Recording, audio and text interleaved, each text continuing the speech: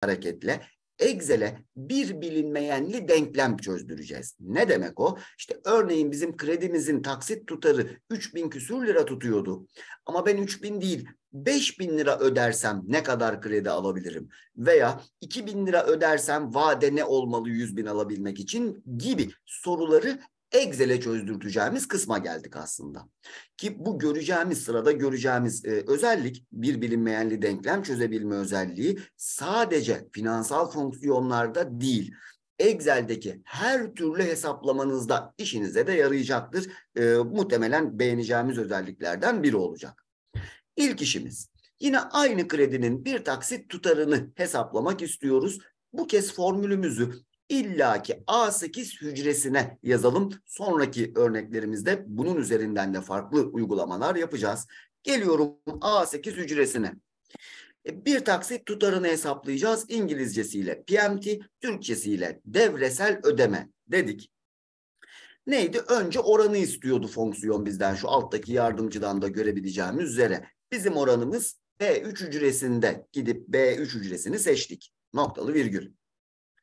İkinci bölüm dönem sayısı vadeyi öğreneceğimiz kısım. O da B2 hücresinde gidip B2 hücresini seçtik. Yine noktalı virgül. Fonksiyonun üçüncü ve son kısmı bugünkü değer kredi tutarı. E, o da B1 hücresinde. Ve aslında bu fonksiyonla işimiz burada bitmiş oldu. Fonksiyona ait parantezi kapatıyorum ve onayladım. Bu kredinin bir taksit tutarı 3900 3891 e, lira 81 kuruş. E, biz buradan sonra eğer istersek kredi tutarı 100 bin lira olmasın da 75 bin lira olsun diyorum. Gittim B1 ücresine kredi tutarını 75 bin lira yaptım. Fade 36 ay olmasında 24 ay olsun dedim. Faiz oranı işte 1.95 yüzde değil de 2.05 yüzde olsun dedim gibi her türlü değişikliği yaparak formül üzerinde e, artık şu kadar kredi kullanırsam ne olur, vade bu olursa ne olur, faiz oranı şu olursa ne olur gibi tek tek deneme yanılmayla taksit tutarlarını değiştirtebiliyoruz.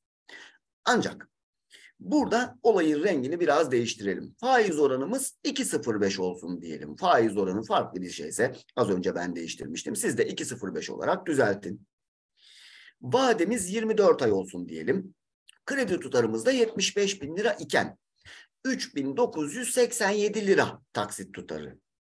Ancak buradaki hesaplamada bir değişiklik istiyorum. Ben en fazla 3000 lira ödeyebilirim gibi bir hesaplamaya ihtiyacım var. Taksit tutarının 3000 lira olabilmesi için kredi tutarı ne olmalı sorumuz var. Ta böyle ortaokul lise yıllarına dönecek olursanız hani x'li bir bilinmeyenli denklemler çözerdik hatırlarsanız.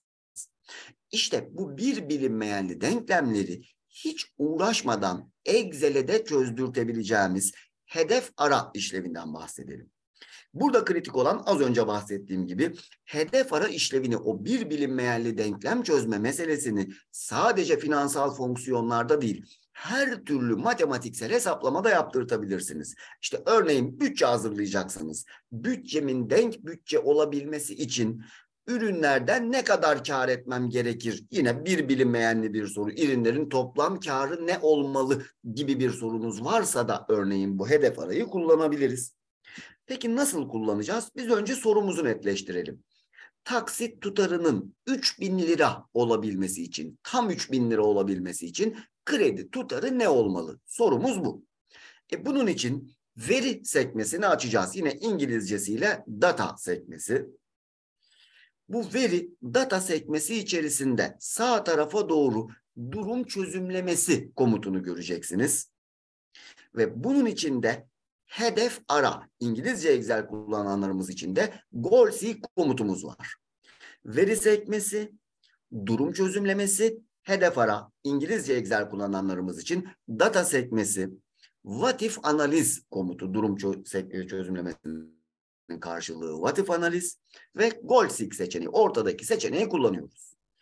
Sorumuzu çözebilmek için Excel bize üç şey soracak. Ayarlanacak hücre neresi? Sonuç hücre kaç olsun? Bunun için ne değişsin diyecek aslında. Birincisi ayarlanacak hücre. Biz taksit tutarını ayarlamak istiyoruz. Ayarlanacak hücremiz A8 hücresi olacak. Gidip başka bir şey yazıyorsa ayarlanacak hücreyi silip yerine A8 hücresine tıkladık veya manuel A8 yazabilirsiniz. Burada dolarlı ya da dolarsız olmasının hiçbir önemi yok. İkincisi sonuç hücre bölümüne geldik. A8 hücresi sonuçta kaç olsun? Biz 3000 lira olsun istiyorduk. Yalnız dikkat yine biz ödeyeceğiz bu parayı. Eksi 3000 lira olmalı. Sonuç hücreye gelip klavyeden kendimiz manuel eksi 3000 yazdık. Ve üçüncüsü bu sonuca ulaşabilmek için ne değişsin? A8'in eksi 3000 lira olabilmesi için biz kredi tutarını değiştirmek istiyorduk. Kredi tutarımızda B1 hücresinde gidip B1 hücresini seçtik. Bu kadar aslında işimiz bitti. Gidip tamam komutuna tıkladığımızda şöyle 1-2 saniyelik çok basit ve hızlı bir hesaplama yapacaktır Excel.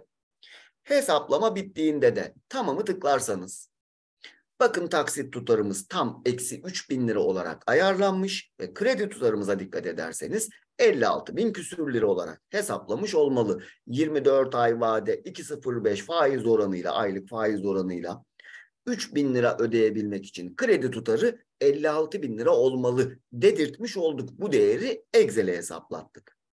Bir örnek daha yapalım üstünden geçmiş olalım. Şimdi de taksit tutarının 5000 lira olması için diyelim kredi tutarı ne olmalı? Ki illaki kredi tutarını değiştirmek durumunda değiliz. Farklı vadeyi de değiştirebiliriz. Onun için bir örnek daha da yaparız.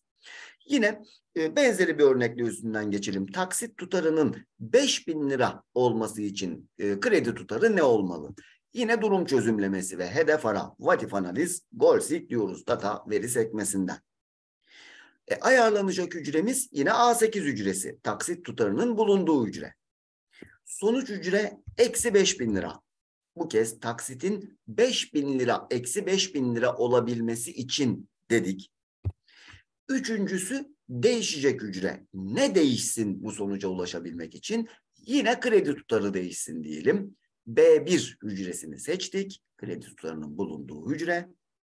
Ve tamam dediğimizde yine çok hızlı bir hesaplama yapacaktır ve iş bittiğinde de tamam dersek taksit tutarının eksi 5000 olabilmesi için kredi tutarı 94.036 lira küsür olmalı diyecek.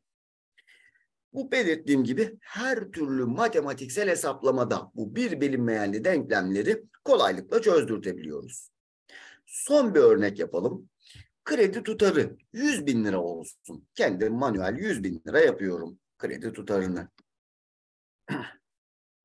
Şimdi kredi tutarı 100 bin lira. Bu durumda 5300 lira taksit tutarımızmış. Yine formülümüz çalıştı. 5317 olarak buldu. Şimdiki derdimiz de şu. Taksit tutarının yine 5000 lira olabilmesi için bu kez kredi tutarı değil vadeyi değiştirtelim Excel'e. Ki aslında değişen bir şey yok. Neredeyse aynı şeyi isteyeceğiz. Yine durum çözümlemesinden hedef ara diyoruz. Ayarlanacak hücremiz yine A8 hücresi. E sonuçta yine eksi 5000 lira olsun. Sonuç hücreye eksi 5000 dedik. Tek değişiklik bu kez kredi tutarı değil vadeyi ayarlamak istiyoruz. Vadenin bulunduğu B2 hücresini gelip seçtiğimizde tamam dersek 26 ay cevabını verecektir. Tabi burada tam bir değer bulabilmek için sonuç epeyce bir küsuratlı olacak ama yuvarlak 26 ay diyebiliriz ki B2 hücresine gelip biz manuel 26 yazarsak da o küsurattan kurtulmak adına 5000 lira 16 kuruş. Vadeyi 26 aya çıkarttığımızda taksit tutarımız 5000 lira olabiliyormuş şeklinde işlem yapabiliyoruz. E böylece buraya kadarki süreçte e, finansal fonksiyonları ve bunları bir bilinmeyenli denklem e, şeklinde çözümlerini görmüş olduk. Buradan sonraki aşamada iki bilinmeyenli denklem bölümüne geçeceğiz. Ancak bunu işin ikinci dersine bırakacağım. Oraya gelene kadar şu bir bilinmeyenli denklemle ilgili bir küçük soru daha çözelim. Bunu her türlü hesaplamada da aslında kullanabildiğimizi görmüş olalım. Çok daha basit bir hesaplama üzerinden gidelim. G1, G2, G3 ve G4 hücrelerine Dört tane rastgele sayı yazdım. Hemen alttaki G5 hücresine de bu dört sayının ortalamasını hesaplatacağım. Bayağı bildiğiniz düz manuel ortalama. Yine İngilizce Excel'le average yazıp parantez açacağız. Türkçe Excel kullananlarımız ise ortalama yazıp parantez açabiliriz. Ve parantezin içinde de G1'den G4'e kadar olan 4 hücreyi de seçiyorum. Parantezi kapatıyorum. Bu 4 hücredeki sayıların ortalamasını al demiş olduk Excel'e. Buldu ortalamayı. Yine aynı mantıkta şu bulmuş olduğumuz ortalamanın örneğin 40 olabilmesi için G1 hücresindeki sayı kaç olmalı diyelim. E yine bunu böyle bir kağıt kalemle vesaire ya da deneme yanılmayla hesaplamak yerine aynı şekilde hedef ara diyorum. Ayarlanacak olan hücremiz G5 hücresindeki ortalama değer G5 hücresini seçtik. E kaç olsun? 40 olsun istemiştik. Sonuç hücreye gelip 40 yazdım. G5 hücresindeki değerin 40 olabilmesi için ne değişsin? G1 hücresindeki sayı değişsin. Gidip G1 hücresini seçtik. Yine bitti bu kadar. Tamam dediğimizde yine bakın aynı şekilde hızlıca bir hesaplama yapacak. E, tamam dediğinizde G1 hücresindeki sayı 35 olursa işte ortalamamız 40 olacakmış gibi sonuçlandırmış olacak. İşin özü hedef arayı her türlü bir bilinmeyenli denklemde matematikte cevabı olan her bir soruyu çözdürtmek üzere Excel'e sorabiliyoruz aslında. Her türlü bir bilinmeyenli denklemi Excel'e hesaplatabiliyoruz. Şimdi işin bu kısmını tamamlamış olduk. Ee, nasıl devam edeceğiz? Yine e, bir iki dakikalık vaktimizde devam kısmından bahsedelim. İkinci derste bu işlevi iki bilinmeyenli denklem haline getireceğiz. Yine kredi örneği üzerinden ben 12 ay, 18 ay, 24 ay, 30, 36 ay kredi kullanırsam bir diğer değişken kredi tutarı 50 bin lira olursa, 100 bin lira olursa, 300 bin lira olursa, 500 bin lira olursa gibi bütün bu olasılıklarda örneğin 4 farklı kredi tutarı, 5 farklı vade seçeneği üzerinden hesaplama yapmak istiyorum. E 4 kere 5, 20 farklı taksit tutarı var. Bu 20 senaryo için her birinde bir devresel ödeme formülü yazmak zamandan epeyce kaybettirecektir bize. Ciddi anlamda vakit alacak bir işlem. Ancak işte bunu da hiç uğraşmadan oldukça kolay bir şekilde Excel'e hesaplatabiliyoruz. Bunu ilk olarak çözeceğiz.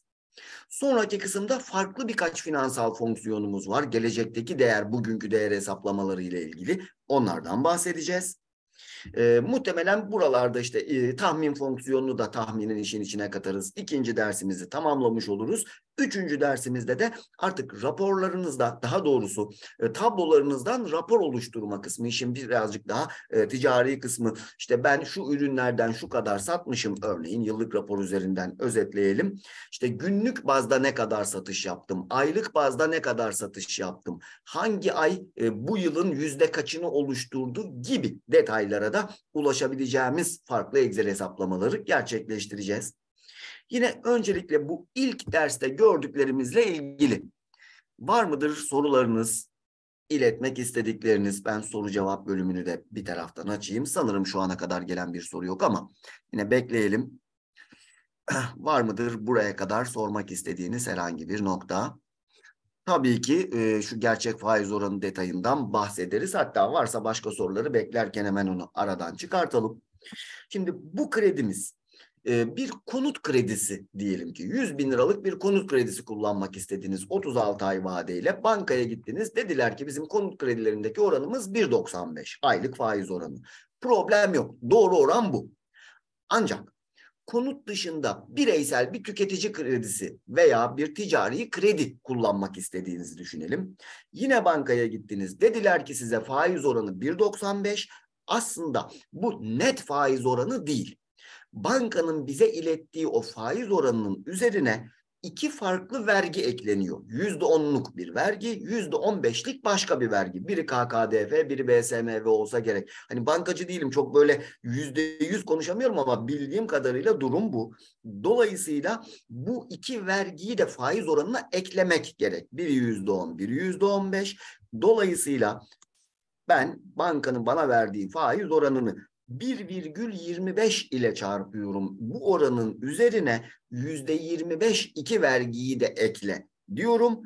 Gerçek faiz oranım işte e, yüzde 2,4'müş aslında. Yine seçtim bu hücreyi şöyle biçimi de süslü olsun. Bir saniye şu zoom'un ekranı çekeyim. Giriş sekmesinde İngilizcesiyle home sekmesinde şu veri biçimini yüzde olarak ayarlıyorum. Percent İngilizcesiyle gerçek faiz oranımız aslında 1.95 değil 2.44 imiş vergilendirilmiş haliyle. Hani bankadaki gibi kuruşu kuruşuna aynı hesaplamayı yapmak isterseniz bu ayrıntıya dikkat etmek gerek. Yine e, bankacılar daha da e, iyi bileceklerdir muhtemelen aramızda varlarsa. E, konut kredileri bu iki vergiden muaf ancak diğer e, kredi türlerinde e, bu iki vergiyi de hesaplamaya katmış olmak gerekiyor diyelim. Ee, bir soru hemen yine bakıyorum. Şöyle ya şöyle aslında e, ihtiyaç kredisi ise bu e, banka 1.95 dedi bize oran. Gerçek oranımız 2.44 veya banka size atıyorum 1.50 dedi faiz oranı. Gerçek oranımız 1.85 şeklinde. Aynen üzerine %25 eklemek gerekiyor. Banka komisyon tutarı e, bildiğim kadarıyla bu da binde beş e, idi. Yine arada bir bakarım e, kontrol ederim ama kredi tutarının binde beşini geçemiyor diye biliyorum. Onu da dolayısıyla direkt işte kredi tutarı çarpı 0,005 diyerek buldurtabilirsiniz. E, tabloya bildiğim kadarıyla eklemiyorlar bunu. Yani e, taksitlere yedirilmiş bir şekilde alınmıyor diyebiliyorum. Aramızda dediğim gibi bankacı varsa daha net cevap verecektir ama tutar olarak 500 lira. Binde beşi diyebiliyorum. Başka var mıdır sorularımız? Yine bu arada sadece bunlar değil. Özellikle bu soru cevap kısmında bunların dışında yine sormak istedikleriniz varsa hazır beklerken iletebilirsiniz komisyon hesaplamasının yıllık maliyeti banka komisyonunun yıllık maliyeti mi? Ben mi eksik biliyorum çok çok emin değilim ama e, bildiğim kadarıyla komisyon direkt olarak tek seferde alınıyor. Hani bunun dışında bir sigorta vesaire midir Semih Bey bahsettiğiniz tam olarak e, ayrıntıya hakim olamadım. benim bildiğim kadarıyla direkt kredi tutarının binde beşini peşin kredinin içinden kullanıyorlar. Onu ayrıca kredinin içerisine yedirilmiyor diyebiliyorum. Güncel uygulamanın bu şekilde olduğunu biliyorum işin doğrusu. Yanlışsam yine doğru bilenlerimiz düzeltebilir ama benim bildiğim en son e, buydu. Bir ay önce bankacılarla eğitim yapmıştık. Öyle demişlerdi. Umarım yanılmıyorumdur. Var mıdır başka sormak istedikleriniz? Sanırım buraya kadar tamamız. Ha, sanırım bir sorumuz daha var. Ha, Semih Bey. Ha, kredinin toplam maliyetinden bahsediyoruz eğer doğru anladıysam. Ki o da eğer tamamsak şu en altta faiz tutarlarını bulmuştuk ödeme tablosunda. Bunun en altına tamam şimdi anlaştık Semih Bey. G38 hücresine geliyorum. Faizi toplayacağım giriş sekmesinin en sağında otomatik toplam komutunu otosam otomatik toplamı kullanabilirsiniz. E, toplam maliyet yine sütuna sığmadı açalım. 30.148 liraymış. Hani buna e, dosya masrafını varsa sigortayı vesaireyi de ekleyerek gidebiliriz ama e, finansman maliyeti 30.148 lira diyebiliriz. Toplam faiz tutarlarının toplamını hesapladık direkt olarak tablonun altına. Sanırım komisyon tutarı 10 bin lira eklersek yüzdesel oranını çok çok pardon kusura bakmayın. Bu kredinin komisyon tutarı estağfurullah problem yok işimiz bu zaten hani e, bu e, bölümde sorularınızı cevaplıyoruz. Bunu şöyle yapabiliriz eğer doğru anladıysam. Bu ekstra bir finans kuruluşu vesaireyse banka dışında 10 bin lira var. O zaman kredi tutarını 110 bin liraya çıkartmaktır sanırım sorduğunuz şey.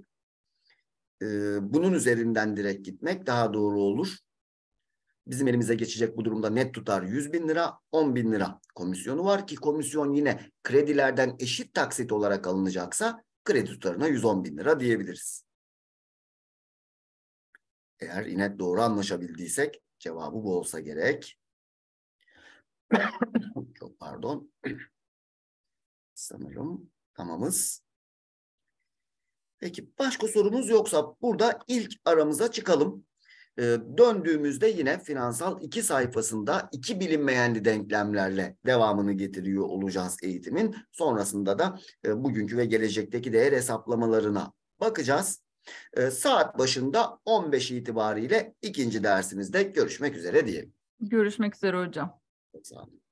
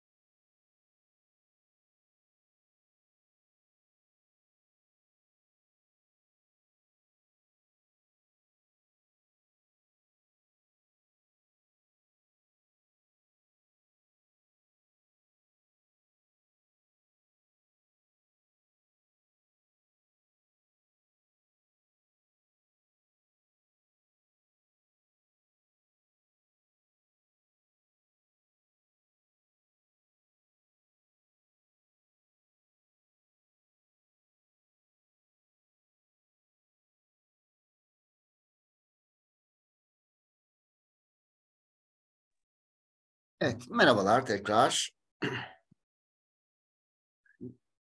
Merhaba hocam. Buyurun devam edebiliriz. Teşekkürler, sağ olun. Evet, devamını getirelim. Yine aynı şekilde arkadaşlar bu bölümde de göreceklerimizle ilgili, gördüklerimizle ilgili sorularınızı e, aynı şekilde soru cevap bölümüne iletirseniz e, dersin sonundaki yine o 10 dakikalık bölümde e, cevaplandırmaya çalışırız diyelim. Şimdi ilk olarak ee, en son bir bilinmeyenli denklem çözmüştük. Excel'e bir bilinmeyenli denklem çözdürmüştük ve ya bilinmeyen sayımız iki tane olursa demiştik. Yine kredi hesaplaması üzerinden gidelim. Ve bu e, kredi hesaplarken işte vademiz 12 ay olursa, 18 ay olursa, 24 ay olursa gibi farklı e, senaryolarımızın olduğunu düşünün. Gelin bunun için formüllü olan hücreyi baz alarak bir minik tablo oluşturup başlayacağız işimize. Ki biz formülümüzü finansal 2 sayfasında A8 hücresine yazmıştık. Bu A8 hücresinin altındaki ve yanındaki hücreleri tablomuzu oluşturmak için kullanacağız. Öncelikle vadelerle başlayalım. A8 hücresinin altındaki A9 hücresine örneğin vade 12 ay olursa 12 yazdım.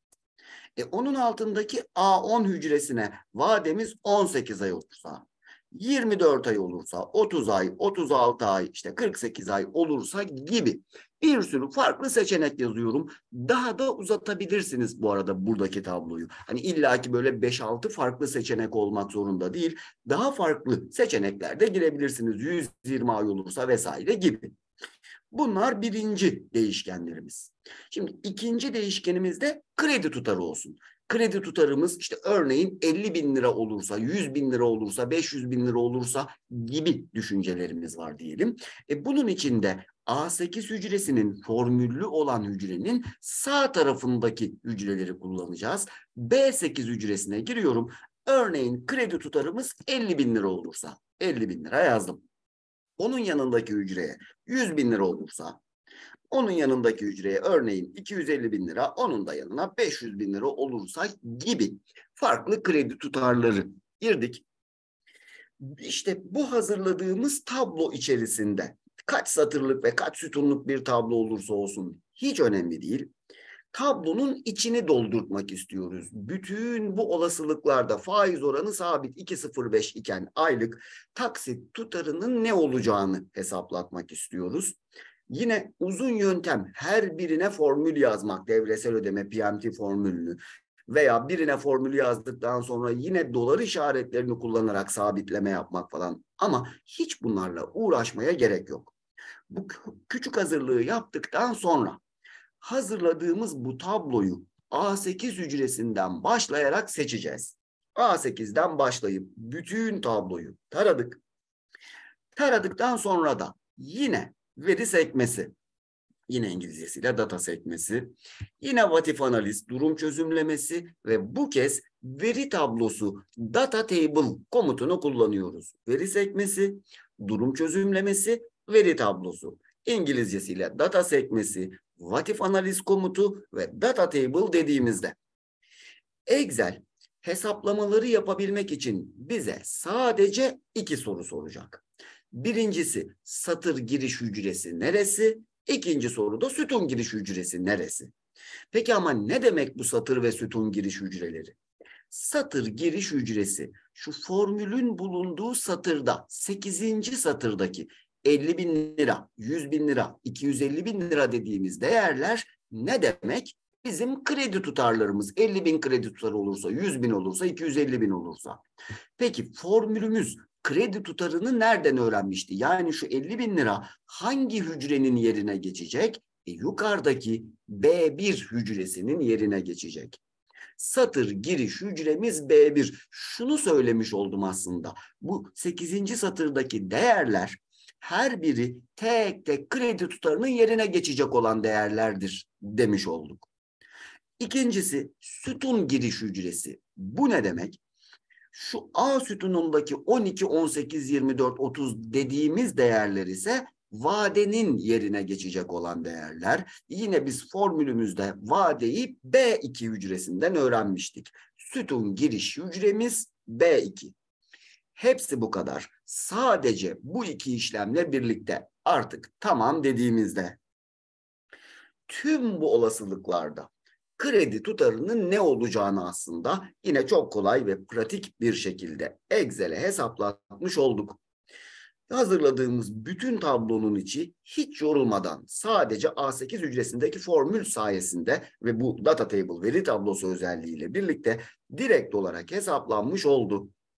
Excel'in en kolay ama en işlevsel özelliklerinden biri aslında iki bilinmeyenli denklem çözdürtmek istediğimizde bu veri tablosu komutunu kullanabiliyoruz. Diyelim yine aynı şekilde olursa sorularınız e, son bölümde cevaplandırın soru cevap bölümüne iletebilirsiniz. Geçiyorum şimdilik finansal 3 sayfasına. Yine Excel'deki finansal fonksiyonların oldukça geniş bir dünyası var demiştik. Buradan hareketle gelecekteki değer hesaplatacağız Excel'e aslında. Burada kullanacağımız dört ayrı formülle. Öncelikle birinci sorumuz. İşte 8 yıl önce bir gayrimenkule 200 bin lira e, para vermiş Ahmet Bey. E, gayrimenkulde 450 bin lira olmuş diyelim. Uydurma değerler tabii ki. Derdimiz şu. Bu 200 bin lirayı ev almasaydı da işte yıllık 8,5 orandan bir mevduat hesabına yatırmış olsaydı acaba kaç parası olurdu?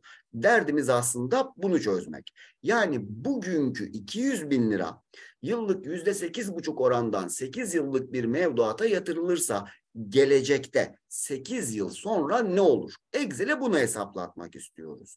Bildiğiniz aslında bir vadeli hesap hesabı yaptırtmak istiyoruz. Bunun için kullanacağımız fonksiyon İngilizcesiyle feature value, gelecekteki değerin kısaltması F ve Fransa ve Van baş harfleri diyebiliriz. Türkçesiyle de gelecekteki değerin baş harfleri GD. Gelecekteki değer GD feature value yazarak parantez açtık. Yine parantez için hiç ezberlemeye çalışmayalım. Alttaki yardımcı bizi yönlendirsin ki yine bakarsanız ilk olarak bizden oranı istemişler. Bizim yıllık oranımız yüzde sekiz buçuk. E yine 8 yıllık bir hesaplama yapacağız. Hani aylığa çevirmeye hiç gerek yok. O zaman direkt olarak 8,5 yüzde sembolü. Yüzde sekiz buçuk faiz oranımız var demiş olduk. 8,5 yüzde işareti. Faiz oranımız yıllık yüzde sekiz buçuk. Noktalı virgül. Geldik formülün ikinci kısmı. Dönem sayısını anlatmaya kaç dönem yine soruya bakacak olursak 8 yıllık bir plan yapmak istiyoruz. Adam 8 yıl önce almıştı. Biz de e, o gün 8 yıllık bir vadeye yatırsaydı diye bakacağız. Dolayısıyla dönem sayımız 8. Noktalı virgül.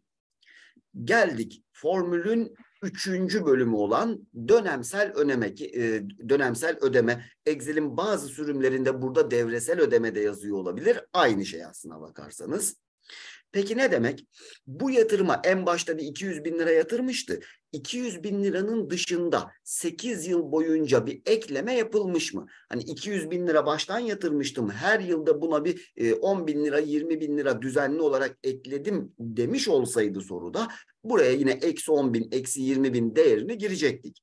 Ama bizde yok. Sadece başta bir 200 bin lira veriyor. Başka da bir dönemsel ödeme yok. O zaman sıfır dönemsel ödememiz yine noktalı virgül. Geldik formülün dördüncü bölümü ki opsiyonel olan kısım bugünkü değer. E, bu soruda kullanmak durumundayız bugünkü değeri. Bugün bu hesaba kaç para yatıracağız? 200 bin lira. Yine bu yatırdığımız para cebimizden çıkacak olan bir para. Dolayısıyla eksi 200 bin şeklinde gireceğiz. Ki pozitif girerseniz eksiği koymadan 200 bin yazarsanız sonuç negatif çıkacaktır. Ama bizim hesaplamamızın doğası gereği başlangıca eksi 200 bin lira yazıyorum. Bitti böylece işimiz. Parantezimizi de kapattık. Aslında sorduğumuz soru ben bugün 200 bin lirayı 8 yıl e, tutacak şekilde yüzde sekiz buçuk e, bir vadeli hesaba yatırsam ne olur param 8 yılın sonunda demiş olduk. 384 bin lira olacakmış. İşte ev almıştı vatandaş, evi 450 bin liraydı, e ki ev almış gibi bir sonuca gidiyoruz aslında. Buradan tabii ki değerler doğru değerler değil hani uydurma değerler ama aşağı yukarı bir e, gelecekteki değer hesaplamasını veya bir vadeli hesap e, hesabını Excel'e yine bu gelecekteki değer fonksiyonuyla çözdürebildik. Buradan hareketle geçelim ikinci sorumuza. Bir firma 5 yıllık dönemde 500 bin liralık 3 e, farklı yatırım yapmayı planlıyormuş sorumuza göre. Öncelikle A planı. Yıllık 12 bin lira kira getirisi verecek ve kirada 5 yıl boyunca sabitmiş. Bu hesaplamayı daha net tutabilmek için böyle verilen bir değer. Yıllık yüzde beş de e, bu gayrimenkul değer kazanacakmış. E buna göre 500 bin lirası sonuçta ne olur diyelim. İlk olarak bunun e, hesabını yapalım. Yine aslında aynı bugünkü 500 bin liranın 5 yıl sonraki değerini, gelecekteki değerini hesaplatmak istiyoruz. Dolayısıyla gelecekteki değer GD diyerek başladık işimize. Öncelikle oran, e, faiz oranımız ya da değer kazanma oranımız diyelim bu kez yüzde beş. Beş yüzde işareti. Noktalı virgül. Fonksiyonun ikinci bölümü dönem sayısı 5 yıl. Dolayısıyla 5 dedik. Yine noktalı virgül. Şimdi dikkat. Dönemsel ödeme bölümü. Aslında her yıl bir 12 bin liradan bahsediliyor. Ancak kira, e, bu kiranın örneğin 5 yıl boyunca sabit olacağı söylenmişti.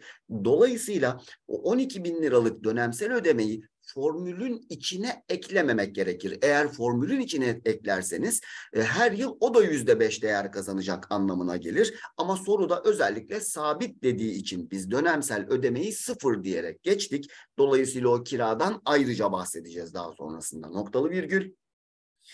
Son olarak bugünkü değerimiz 500 bin lira yatırıyorduk biz bugün bu işe. Eksi 500 bin lira diyoruz. Ve şimdilik parantezi kapattım. Kiranın hala açıkta olduğuna dikkat. Ve şimdilik yine bir onaylıyorum. Aslında gayrimenkulün değeri her yıl yüzde beş değer kazanacaksa 500 bin liralık gayrimenkul 5 yılın sonunda 638 bin lira küsür oldu. E biz bir de 60 bin lira toplamda kira almıştık. 5 yıl boyunca yıllık 12 bin lira. Formülün sonuna direkt olarak ekleyelim. Para, formülü tekrar açıp parantezin dışına artı 60 bin lira diyorum. Ki bunu ayrıca isterseniz şöyle de devam ettirtebilirsiniz. Tekrar gelecekte değer işte 12 bin lirayı da gitti bir vadeli hesaba koydu. Vadeli hesabın orası şu. Onu da böyle hesapla diyebiliriz. Biz şimdi tekrar dallandırıp budaklandırmayalım. Biraz daha sade tutalım hesaplamayı.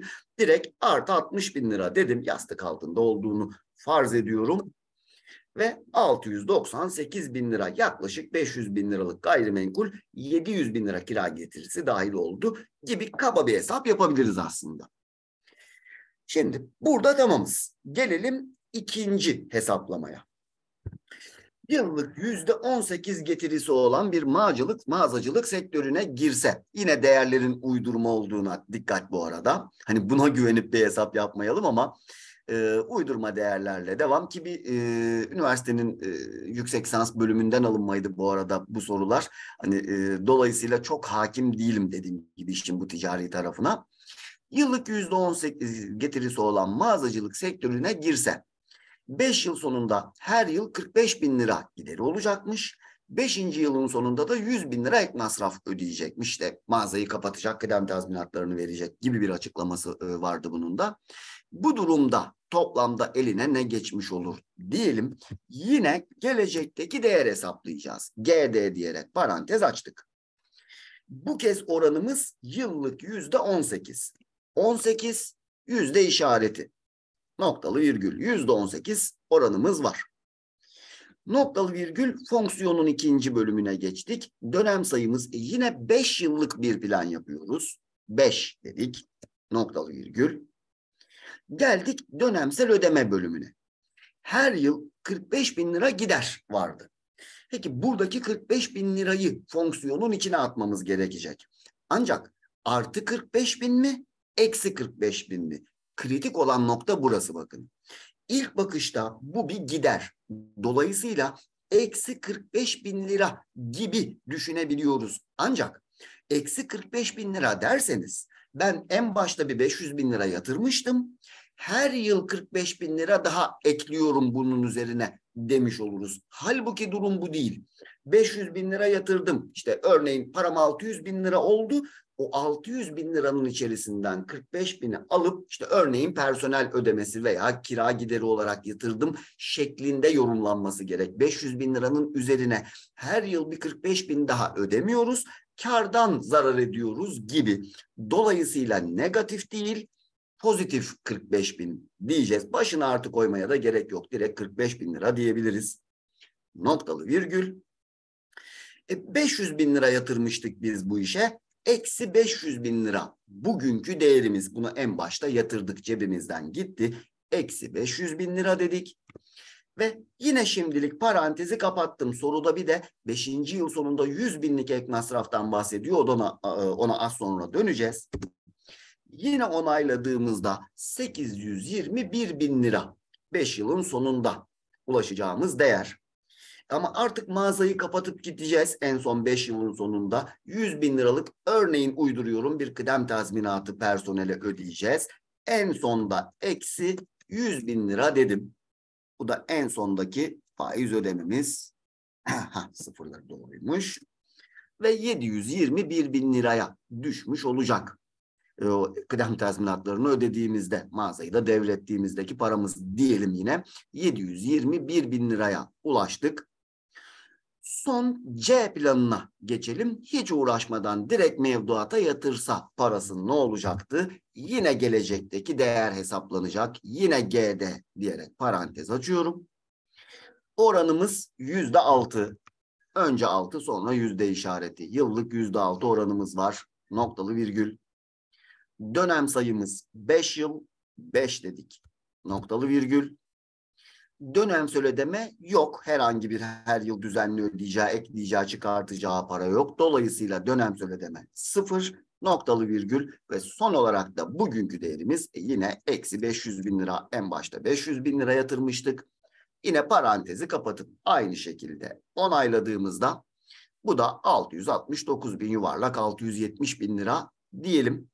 Üç senaryonun sonuçları artık buradan sonra hani bunun yorumlanması, hesaplanması eh, yapılacak işe göre tabii değişir. Üstüne basarak bir kez daha söylüyorum. Bunlar böyle gerçek tutarlı rakamlar olmayabilir. Gerçekteki eh, bambaşka sonuca ulaşabiliriz ama bizim meselemiz aslında hesaplamayı Excel'de nasıl yaptırtabildiğimiz ki e, pek çok yatırım hesaplamasında yatırım e, hesaplı, e, hesabı yapılırken işte tahmini değerler üzerinden bu modellemelerde aslında rahatlıkla gerçekleştirilebiliyor. Bir kez daha tekrarlayalım. Tüm bunlar aslında çok özür dilerim. Hayali değerler üzerinden gerçekleşiyordu. Yine bu arada hani yetişemediğiniz kısımlar olursa e, eğitimimiz e, Ege İhracatçı Birliklerinin YouTube kanalı üzerinde bulunacak. Oradan da tekrarlarını izleyebilirsiniz. Geçelim eğer tamamsak tahmin sayfasına. Yine Excel'de çok fazla bilinmeyen ama çok çok işimize yarayabilecek bir modelleme. Excel'den tahminde bulunmasını isteyeceğimiz bir küçük ama yararlı özellik. Derdimiz şu, örneğin 1 Ocak 2022 tarihinde biz falanca üründen şu kadar tane sattık. 2 Ocak, 3 Ocak, 4 Ocak şeklinde bakın en alta inecek olursanız 31 Mayıs tarihine kadar 5 aylık toplamda şöyle kaç taneymiş? 151 e, günlük satış rakamlarımız mevcut. E buna göre 5 ayda biz bu kadar ürün satmıştık. Örneğin 6. ayda Haziran ayında tahminen bu üründen ne kadar satarızı Excel'e buldurtalım. Bu hesaplamayı yapabilmek 2013 ve üzeri Excel e, sürümlerinde oldukça kolay basit. Daha eski Excel sürümlerinde tahmin isimli bir fonksiyonu kullanabiliyorduk. Eşittir tahmin İngilizcesiyle forecast fonksiyonu kullanıyorduk ama 2013 üzeri Excel'lerimizde mesele çok daha kolay. Şayet kullandığınız Excel daha eski bir sürüm ise şu an için ekrandan takip edebiliriz. Direkt belki uygulayamayabiliriz kullandığınız Excel sürümüne bağlı olarak sıradaki özelliği. Peki nedir o? Oldukça kolay bakın. Tablonun içinde herhangi bir hücreye tıklıyorum. Yine yukarıdan veri, data sekmesinde.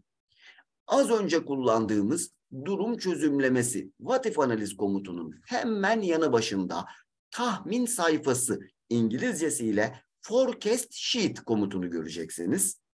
Eğer komutu göremiyorsanız muhtemelen dediğim gibi eski Excel e, sürümlerinden birini kullanıyoruzdur. Ekrandan takip edebiliriz. Ancak 2013 sonrası bir sürüm kullanıyorsak. Direkt geldim o tahmin sayfası forecast sheet komutuna tıkladım.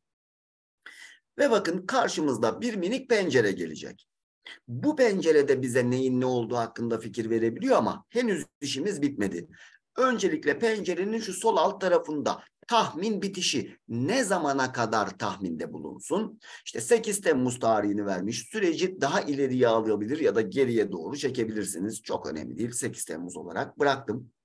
E buna göre tek yapacağımız şey tahmin bitişini belirttikten sonra oluştur komutuna tıklıyorum. Ve bakın oluştura tıkladığımız anda az önce çalıştığımız tahmin isimli sayfanın sol tarafına yeni bir sayfa ekleyecek. Ve bu yeni sayfada öncelikle arka plandaki tabloya şöyle bir göz atalım. Şu A ve B sütunundaki veriler zaten bizim tablomuzda yer alan verilerdi. Ama tablonun altına Haziran ayından itibaren ana tahmin hattı, alt güven sınırı ve üst güven sınırlarını verecek ve bunun için tablomuzun yukarıda yine yanına grafiği de çizmiş olacak. Bu grafikteki yine mavi çizgiler aslında bu var olan 5 aylık datalarımız. Onun yanındaki turuncu hattın 3'e bölündüğünü göreceksiniz. Aslında az önce bahsettiğimiz tahminatta alt güven ve üst güven sınırları bunlar. Nedir? Hani düşse düşse buraya düşer, yükselse yükselse buraya yükselir hattı. Ortadaki çizgi ise ana tahmin hattı. E buna göre işte bu hisse daha doğrusu bu şirketin satış değeri şu tarihte şu kadar olacak, bu tarihte bu kadar olacak şeklinde bir projeksiyon yapmamızı sağlıyor. Özellikle yine işte e, bütçe vesaire dönemlerinde yine çokça kullanılıp işe yarayabilecek bir özellik geçmiş verileriniz ne kadar kararlı ve tutarlı ise bizim tablomuza dönüp bakacak olursak 5 aylık toplamda 150 satırlık bir geçmiş datamız vardı. İşte bu geçmiş data ne kadar geçmişe dönük kuvvetli ve kararlı bir data olursa aslında Excel'in bulacağı tahmin sonucu da aynı oranda kararlı ve tutarlı olacaktır. Bizim verilerimizde 3 aşağı 5 yukarı şöyle bir yükselme eğiliminde diyebiliriz aslında. E buna göre e, önümüzdeki süreçte tahmini satış değerlerini buldurtmuş olduk. Dediğim gibi bütçe yaparken sıkça kullanılabiliyor. Geçmiş şu kadar zamandaki satışlarım bunlardı. Buna göre önümüzdeki yıl durum ne olur? Ona göre bir bütçe e, ayarlayalım, revize edelim demek için işinize yarayabilir bu özellikle. Küçük kullanımı da oldukça kolay. Tek yaptığımız şey tablonun içindeki bir hücreye tıklamak. Veri sekmesinden tahmin sayfası forecast sheet komutu ve pencerenin sol alt tarafından tahmin bitişini belirleyip oluştur demek. Buna göre basitçe tahminde bulunmasını sağlayabiliyoruz. Artık işin bu finans tarafını bir tarafa bırakalım. Birazcık daha raporlama kısmına geçelim. Diyelim kalan bölümümüzde hem bugünün kalanı hem de yarının kalanında elimizdeki bir satış tablosu üzerinden, ticari bir satış tablosu üzerinden raporlama yapmak istediğimizi farz ederek buna göre devamını getirelim. Öncelikle şöyle bir tabloyu inceleyelim. Bir yıllık bir satış tablosu var yine elimizde. İşte şu tarihte şu satış temsilcimiz bu şirkete bu kadarlık satış yapmış gibi bir uydurma tablomuz var yine bu tablodan herhangi bir rapor oluşturmak, bu tabloya ait işte günlük, aylık ya da yıllık e, satışların bir raporunu oluşturmak istiyorsunuz diyelim. E, bunun için yine e, Excel'deki iki farklı yöntemi kullanabiliriz. Birincisi pivot table bölümü. Ki pivot table oldukça yetenekli bir raporlama aracı. Türkçesiyle özet tablo. Muhakkak aramızda bilip kullananlarımız vardır. Hem de basit böyle işin formülüyle vesairesiyle çok fazla uğraşmadan sürükle bırak şeklinde pek çok raporu hazırlayabiliyoruz. Ancak pivot da her zaman oluşturduğumuz raporu ideal böyle aklımızdaki gibi oluşturmaya müsaade etmeyebiliyor. Çok kolay bir özellik ama sınırsız yetenekte değil.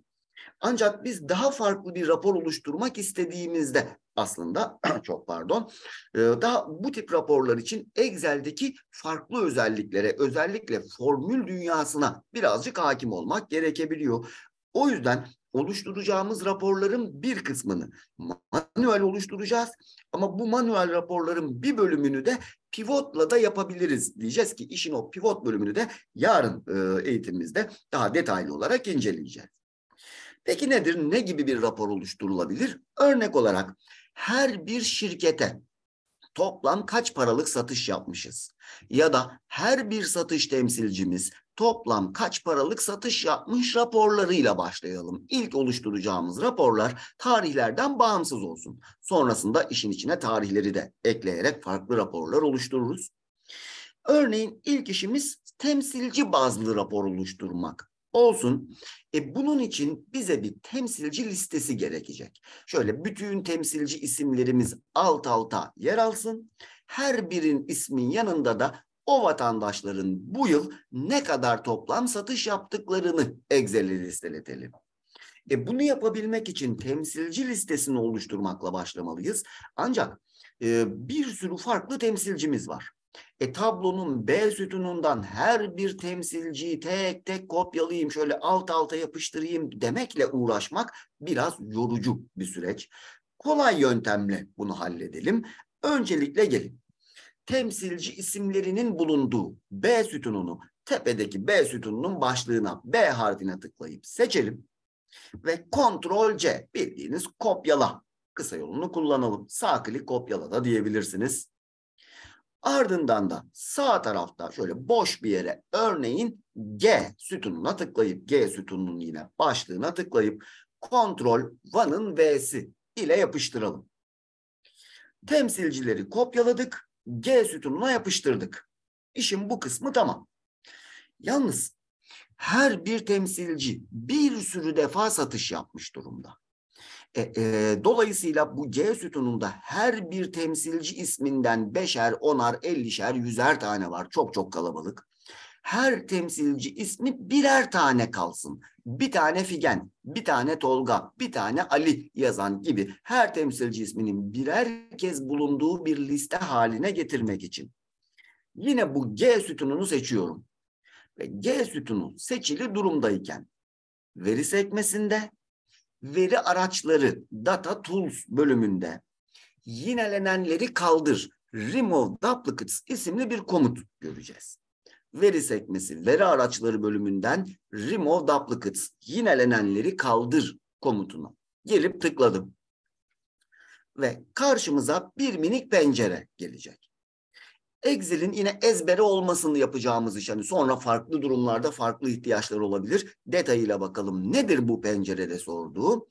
Özellikle birden fazla sütunu bulunan bir tablo seçmiş olsaydık hangi bilgileri aynıysa temizlik yapmak istiyorsunuz diyecekti. E bizde zaten tek bir sütun var. G sütunu seçiliyken pencereye tıkladık. Dolayısıyla satış temsilcisi birden fazla kez girilmiş ise fazlalıklarını silmek, kaldırmak istiyoruz. Satış temsilcisi tikli olmalı ki zaten tikli. Kısacası pencerede hiçbir şeye bakmaya gerek kalmadan direkt olarak tamamı tıkladığımızda işte bin küsür, e, altı bin küsür e, fazlalık değer bulundu ve kaldırıldı.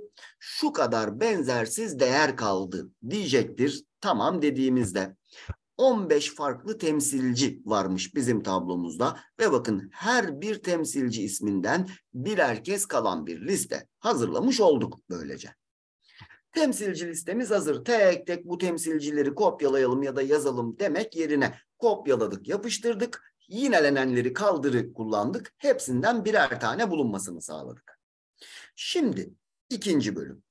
Bu listenin yanı başına H sütununa her bir temsilcimizin toplam satış tutarlarını buldurtmalıyız. Şu fatura tutarlarını toplatacağız. Düz bir toplama yapacak olsaydık İngilizcesiyle sum, Türkçesiyle topla fonksiyonunu kullanırdık.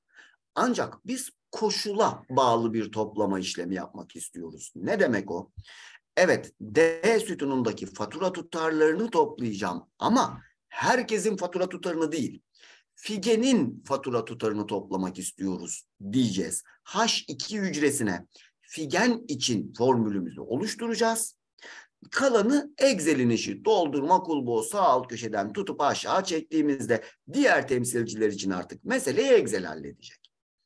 Koşula göre toplama yapan fonksiyonumuz eski haliyle e-topla İngilizcesiyle sum if fonksiyonu idi. Ancak yine 2010 sürümünden bu yana 2010'da dahil daha günceli çok e-topla sum ifs fonksiyonumuz var. Bu soru için e-toplayı da çok e-toplayı da kullanabiliriz ama daha gelişmişini görelim. Çok e-topla İngilizcesi öncelikle yazayım. Sum ifs yazıp parantez açacağız. Türkçe Excel kullananlarımız ise çok etopla fonksiyonunu kullanacağız. Eşittir çok etopla sum ifs diyerek parantez açtık.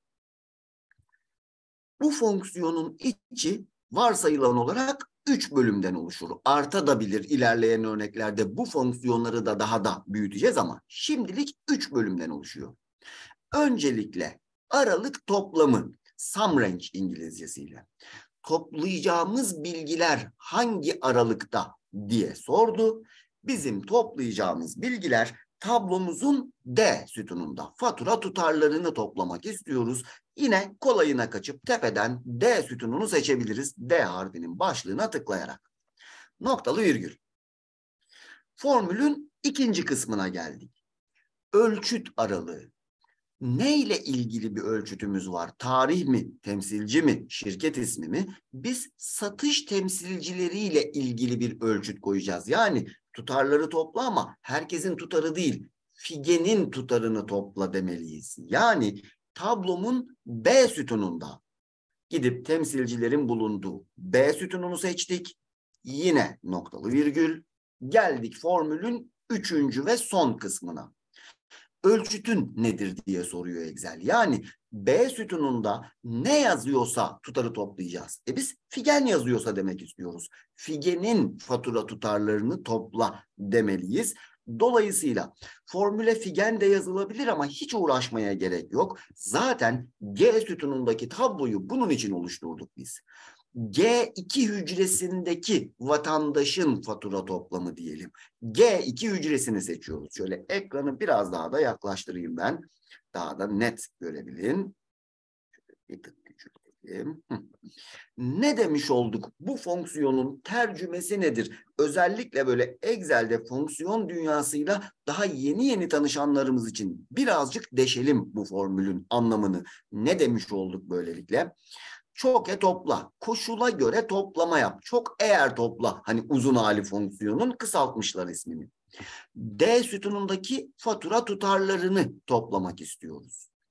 Kimin fatura tutarı? B sütununda G2 hücresindeki figen yazanların fatura toplamı demiş olduk. D sütunundaki tutarı toplayacağız. B sütununda figen yazanların tutarlarını toplayacağız. Bütün faturaları değil, satış temsilcisi figen olanları topla dedik. Ve onayladığımızda da işte 1 milyon 444 bin lira küsür olarak buldu. Yine bunu tutup aşağı çekiyorum. Böylece her bir temsilcimizin toplam satış tutarlarını artık daha da fazla uğraşmaya gerek kalmadan hesaplatmış olduk. E yine bunun üzerine bir ekleme yapalım. Şu H1 hücresine toplam gibi bir şey yazayım. Süs çok önemli değil. Yanına da yüzdesini buldurtalım. Şimdi her bir satış temsilcimiz toplam bu kadar liralık satış yapmış. Yalnız en alta şu H17 hücresine genel toplamı bulduralım. Bakalım temsilcilerimiz genel toplamda ne kadarlık satış yapmışlar. Yine H17 hücresine tıklayıp giriş sekmesinin en sağ tarafındaki yine az önce de kullandığımız şu otomatik toplam komutunu kullanabiliriz. Ya da hani üşenmezseniz eşittir topla İngilizcesiyle sum parantez H2 H16 aralığını seçebiliriz. Genel toplamımızda hatta şöyle binlik ayırıcılarını da ayıralım. 35 milyon liraymış. Binlik ayırıcılara ayırmak için de bu arada bu hücrelerin tamamını seçip Uzun yöntem giriş sekmesi sayı bölümündeki şu binlik ayırıcı komutunu kullanabilirsiniz. Ya da klavyeden Ctrl Shift ve 1 yukarıdan bir rakamı Ctrl Shift ve 1 diyerek binlik ayırıcılara kısa yolla da ayırabiliriz. Toplamda 35 milyon liralık satış yapılmış.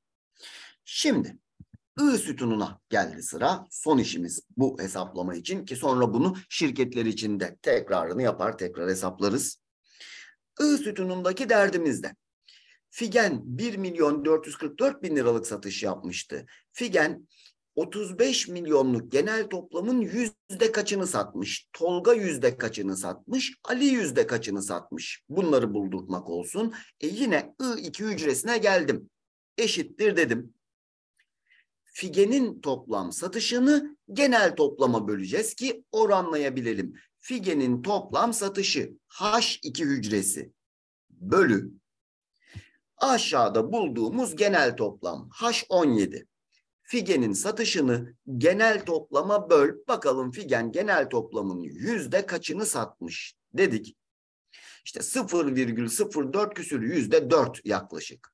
Yine bu hücreyi seçip biçimini yüzde biçimine çeviriyorum. Yüzde 4,09 yuvarladı. Yüzde 4,10 olarak gösterdi. Person style bu arada yüzde oranının İngilizcesi. Yalnız yine bir küçük problemimiz var. Doldurma kulbunu tutup aşağıya doğru sürüklediğinizde yine bakın I sütunundaki diğer hücrelerde formülümüz hataya düşmüş olacak. Yine bir bakalım neden aldık bu hatayı? Şu ilk hata aldığımız I3 hücresine gelip çift tıklıyorum. H3 bölü H18 haline getirmiş formülümüzü. H3 Tolga'nın satışı. Burada bir problem yok. Tolga'nın satışını oranlayacağım. Ancak H17'ye oranlamalıyım 35 milyona. E bakın bizim H17 hücremiz H18 haline almış. Yine ilk derste yaptığımız gibi aslında finansal fonksiyonlardaki gibi H17 hücresi H18 halini almamalı. Kendi formülümüzdeki 17 sayısı değişmemeli. H17'de H ile 17'nin arasına daha doğru bir deyişle 17'nin başına dolar işareti ekliyorum. 17 sabit kalacak. 17 değişmeyecek demiş olduk.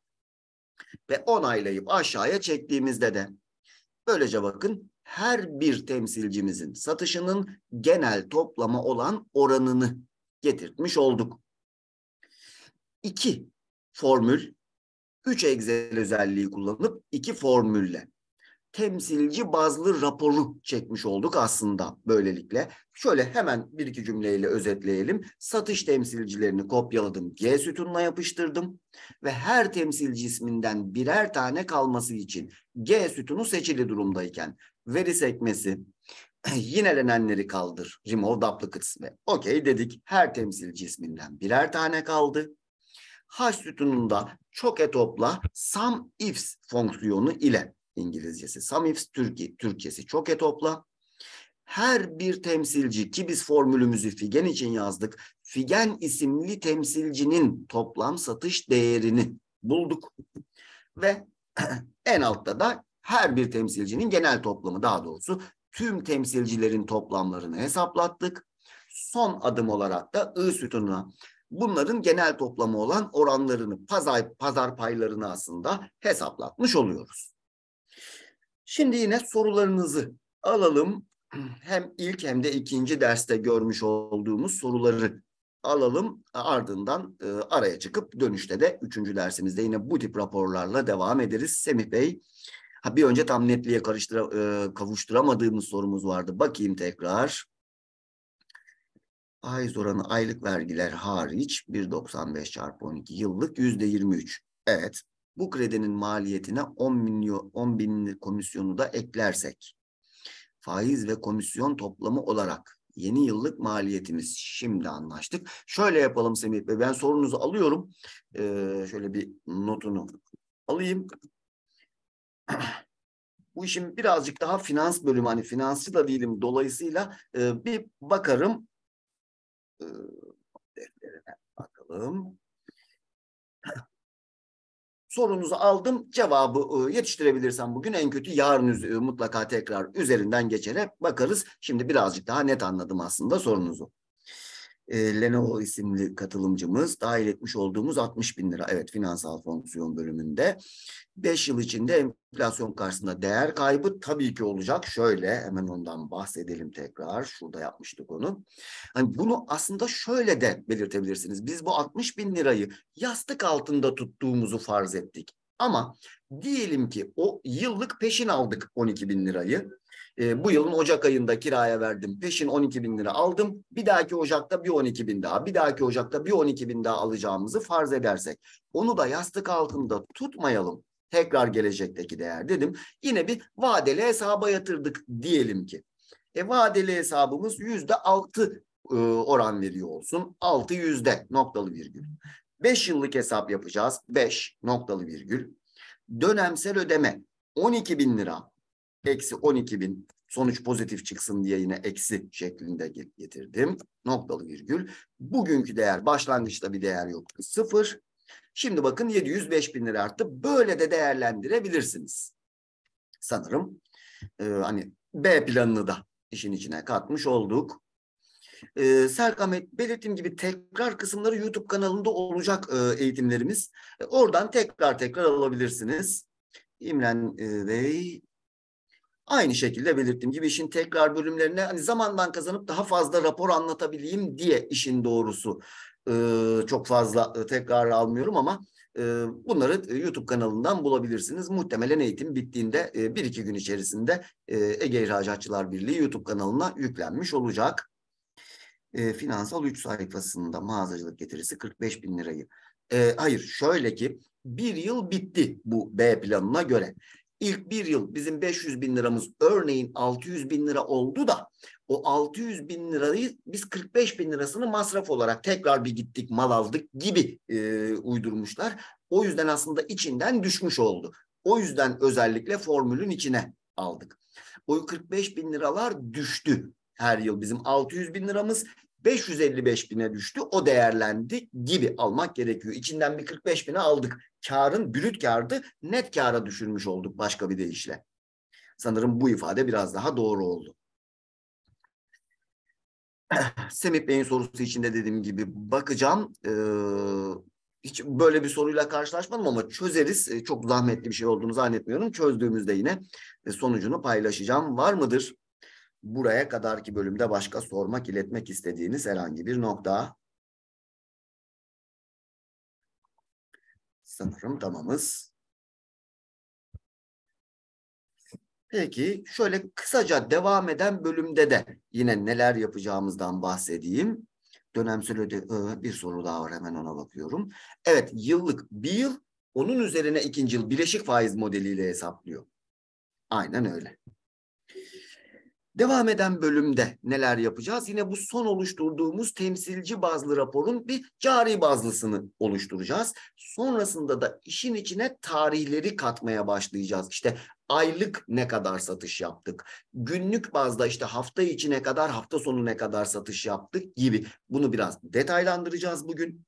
Yarın yine e, günlük, yıllık ve aylık rapor oluşturup bunun daha da ötesine geçip bir e, dashboard rapor modeline geçeceğiz. Özellikle modelleme, ticari modelleme yapmak istediğinizde işte ben bu tarihlerde hangi yılın hangi ayında kimlere ne kadar satış yapmışım, kime e, ortalamanın üstünde satış yapmışım, kime ortalamanın altında satış yapmışım bölümüyle e, hem bugünün kalanı hem de yarın devamını getireceğiz diyelim. Sanırım başka bir sorumuz yok. E, Semih Bey'in sorusu aklımızda dediğim gibi onu cevaplayacağız. O halde yine aramıza çıkalım. E, döndüğümüzde yine saat başında raporlama bölümüyle devam edelim. Yine saat başında 16 itibariyle tekrar görüşmek üzere. Teşekkür ederiz hocam. Görüşmek üzere.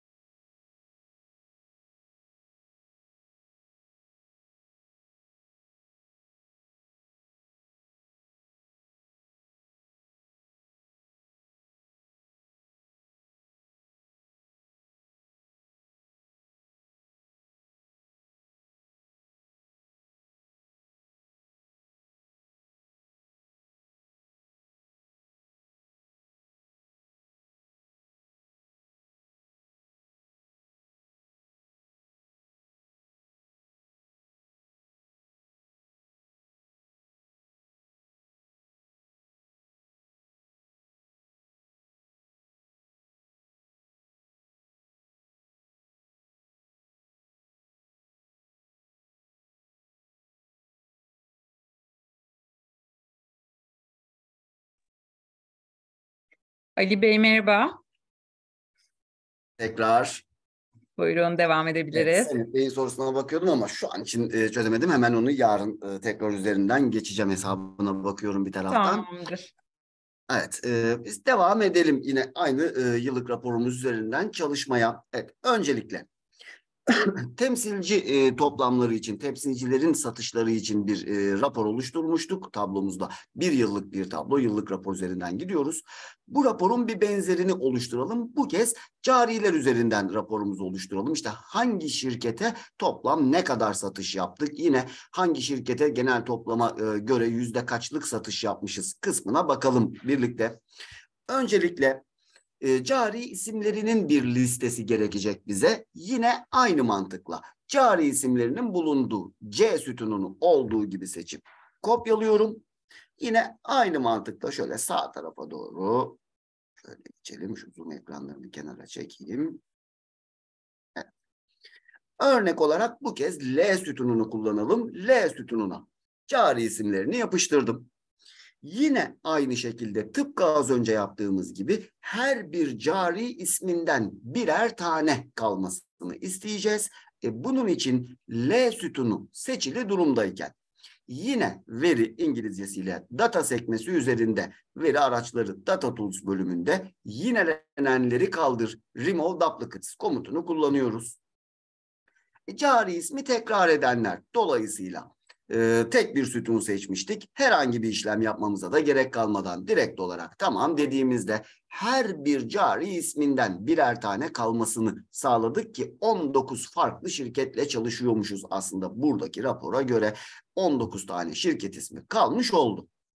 Yine ikinci işimiz bu tablonun yanı başındaki M sütununa her bir firmaya yapılan toplam satışı hesaplatalım az önceki formülün neredeyse aynısı. Çok çok benzeri. Az önce her bir temsilci toplam ne kadar satış yaptı demiştik. Şimdi de her bir cariye toplam ne kadar satış yapıldı demek için yine sum ifs Türkçesiyle çoke topla fonksiyonunu kullanacağız. Sum ifs çoke topla diyerek parantez açtım. E öncelikle toplanacak aralığı belirtecektik ki biz yine fatura tutarlarını toplamak istiyoruz. Dolayısıyla tablomuzda fatura tutarlarının bulunduğu D sütununu seçtik. Noktalı virgül. Şimdi ikincisi cari isimleri şirketler için işlem yapacağız. Şirket isimlerinin bulunduğu C sütununu seçtim. Yine noktalı virgül. Bu kez hangi cari e yine tablomuzu bunun için hazırladık aslında ilk şirket isminin bulunduğu L2 hücresi BT haber yazan hücreyi seçtik. Yine aslında burada yaptığımız işlem BT Haber şirketi ne toplam ne kadar satış yapıldı demek oldu. Parantezi de kapatıp onaylıyorum. İşte 1 milyon 651 bin liralık satış yapılmış. Yine kontrol shift 1 ile binlik ayırıcılarını ayıralım. Ve doldurma kulbunu da tutup aşağı çektiğimizde her bir şirkete toplam ne kadar satış yapıldığını buldurtmuş oluyoruz. Bizim formülümüzde tek değişen aslında burada tutup aşağı çektiğimizde L2 hücresindeki şirket L3, L4, L5 halini alacak alttaki hücrelerde ve o şirkete yapılan toplam satışı bulmuş olduk. İniyorum en alta. Yine M21 hücresine geldim. Aynı şekilde yine 35 milyon sonucuna ulaşacağız aslında. Giriş sekmesinin, home sekmesinin en sağındaki otomatik toplam, otosam komutunu kullanıyorum. Toplamda 35 milyon liralık satış yapmışız. Az önce temsilcilerde de bulduğumuz toplamın aynısı olmalı zaten. Ve son olarak her bir şirkete yaptığımız satışın genel toplama olan oranı diyelim yine aynı şekilde eşittir dedim BT haber için N2 hücresine. Bu BT habere yaptığımız satış yani M2 hücresi bölü yine genel toplam değerini alacağız. M21 hücresi ve artık biliyoruz ki tutup aşağıya doğru sürüklediğimizde M21 hücresi M22, M23 şeklinde değişmemeli, sabit kalmalı. M dolar 21, 21'in başına dolar sembolü koyarak sabitledik ve onayladığımızda yine sonucu sayı olarak gösterecek veri biçimi listesini açıp yüzde percentage biçimini seçtim. Yüzde 4.68'miş BT haber için e, tutup aşağıda çekersek her bir firma genel toplamın yüzde kaçı kadar alım yapmış pazar paylarını görebildik. Şimdi bu raporlar için yine şunların başlarına toplam verildi. Diyelim bu raporları grafiğe dökmek istersek yine grafiklerle temsil etmek istersek şayet öncelikle satış temsilcisi raporumuzla başlayalım. G1 hücresinden H16'ya kadar grafiğe dökmek istediğim hücreleri seçtim. G1 H16 aralığını ve ekle sekmesinde sütun grafik kullanabiliriz ki grafik türünü farklı bir grafik türü olarak seçmek isterseniz de örneğin önerilen grafikleri kullanabilirsiniz. Buradan Excel'in önerilerine göre yine işlem yapabilirsiniz. Sütun grafik muhtemelen en sade baz modellerden biri. Sütun grafiği seçip tamam dediğimizde işte e, satış temsilcisi bazlı grafiğimizi oluşturmuş olduk. Şöyle küçültüyorum biraz. Şöyle yapalım. Aynı şekilde cariler için de hemen basit grafiğimizi oluşturalım. Bunun için de yine ilk olarak grafiğini çizmek istediğimiz tabloyu L1 hücresinden M20 hücresine kadar taradık. Ve yine aynı şekilde ekle insert sekmesinden yine bir sütun grafikle ifade edebiliriz. Her bir şirkete toplam ne kadarlık satış yapıldı şeklinde. Bunları da grafiğe dökmüş olduk. Şimdi standart tek ayaklı raporlar oluşturduk aslında biz böylelikle. Ne demek tek ayaklı rapor? Raporumuzda yalnızca işte temsilciler var. Raporumuzda yalnızca cari isimleri var. Tek bir değişkene göre toplam değerleri hesaplatmış olduk. Ancak bunları şöyle birazcık kenara öteleyelim. İşin içine tarihleri katmaya başlayalım ilk olarak. Yine şunlara da şöyle sütun ekleyip sağa doğru öteleyelim. Örnek olarak temsilcilerle başlayalım. Az önceki temsilci raporumuzu sıfırdan alıp ay bazlı incelemek istiyoruz. Yani her bir temsilci bizim seçeceğimiz ayda ne kadar satış yapmış? İşte Figen Ocak ayında ya da vazgeçtim Şubat ya da vazgeçtim Mart ayında ne kadar satış yapmış gibi. Her bir temsilcimiz bizim belirteceğimiz ay içerisinde ne kadar satış yapmışa çevirelim raporumuzu. Ancak bu raporu oluşturabilmek için önce tarihlerin ay bölümlerini dışarıya çıkartmamız gerekecek. Evet bizim tablomuzun A sütununda fatura tarihlerimiz mevcut. Ancak aylık bakmak için bu tarihlerin içerisinden ay datasını dışarıya çıkarmalıyız. Ocak ayı, Şubat ayı ya da birinci ay, ikinci ay şeklinde. E, bunun için ilk iş tablonun soluna boş bir sütun ekleyelim. Yine A sütununun başlığına A'nın üzerine sağ klik ekle diyorum. Ve A bir hücresine ay gibi bir başlık uydurdum. Hatta bunu da şöyle biçim boyacısıyla diğeriyle aynı biçime gelsin diyelim ayları dışarıya çekebilmenin birkaç yöntemi var. Pek çok yöntem bu birkaç yöntemin büyük bir çoğunluğu işte birinci ay için bir, ikinci ay için iki şeklinde cevap verir. Eğer böyle bir rapor yeterliyse İngilizcesiyle month fonksiyonu, Türkçesi de ay eşittir month, Türkçesiyle de ay yazıp parantez açarız. B2 hücresini seçip parantezi kapatırız. Ve bakın birinci ayda ilk satışımız vardı. 2 Ocak 2017. Ocak ayına ait bir rakamı karşımıza gelir. Tutup aşağı çektiğimizde de her bir satışın yapıldığı ay değerini aslında getirtmiş oluyoruz. Birinci ay, üçüncü ay, beşinci ay şeklinde. Bu haliyle de kullanılabilir ancak biz raporumuzu birazcık süslü hale getirmek istiyoruz. Birinci ay bir olmasın da Ocak olsun. İkinci ay iki olmasın da Şubat olsun. Ayların sayılarıyla, numaralarıyla değil. Ay isimleriyle çalışmak istersek şayet. E bu durumda ay numarası değil, ay adını dışarıya çıkartmamız gerekir. Onun için de az öncekini silmeyelim. Bir tane daha sütun ekleyelim. En sola. Bu kez C sütunundaki fatura tarihinden ay ismini getir diyeceğiz. Ocak yazsın, Şubat yazsın, Mart yazsın demek için İngilizcesiyle text fonksiyonunu kullanırız. Eşittir text parantez. Türkçesiyle de metne çevir isimli fonksiyonu kullanırız. Eşittir metne çevir parantez. E neyi metne çevireceğiz? C2 hücresindeki tarihi noktalı virgül. Peki ama bu tarihten neyi ve nasıl almak istiyoruz? Birincisi neyi almak istiyorum? Ay bilgisini. Peki nasıl almak istiyoruz? Dört farklı yöntem söz konusu. Birinci yöntem çift tırnak açıyorum. Çift tırnak için bu arada iki tane tek tırnak değil. Aradığımız karakter Escape tuşunun ESC'nin hemen altındaki tuş. Direkt olarak o tuşa bastığımızda çift tırnak açmış oluruz. Ve A harfine basıp çift tırnağı kapatıyorum. Parantezi de kapatıyorum.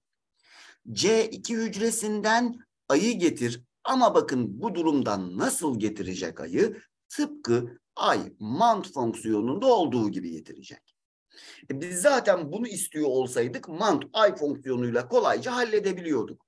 O yüzden formülü tekrar açtım. Çift tırnak işaretleri arasına bir tane daha A harfi ekliyorum. Bu arada bir ek bilgi. Birazcık hani e, temele ineceğimiz bir bilgi.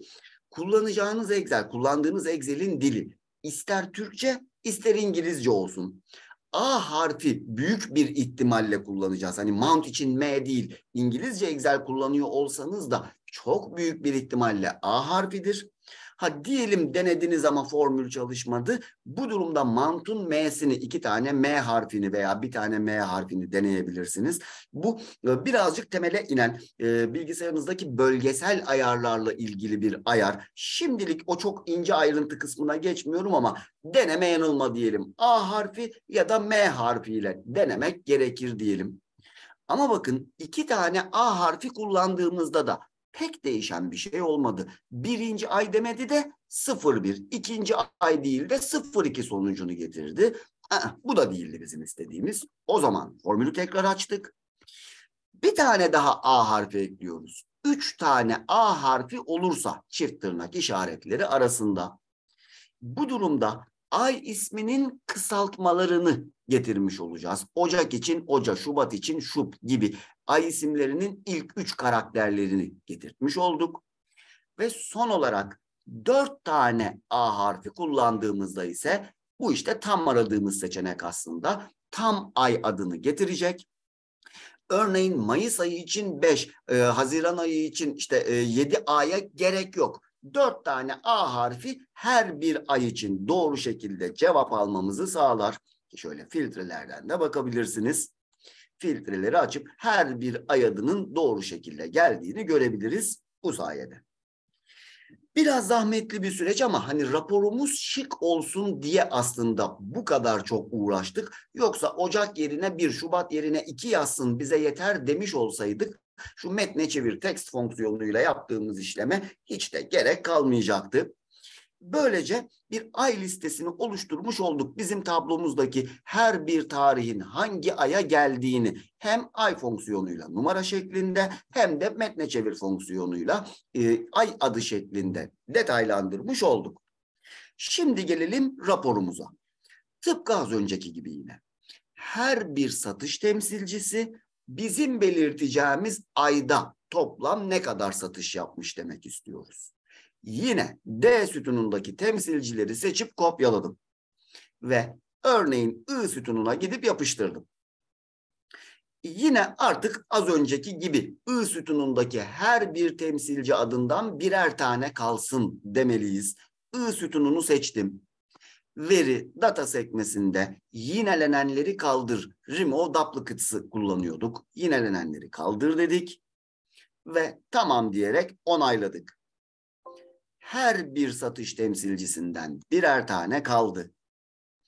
Şimdi J1 hücresine hangi ay için rapor isteyelim biz? Örneğin Ocak ayı olsun. J1 hücresine Ocak yazdım.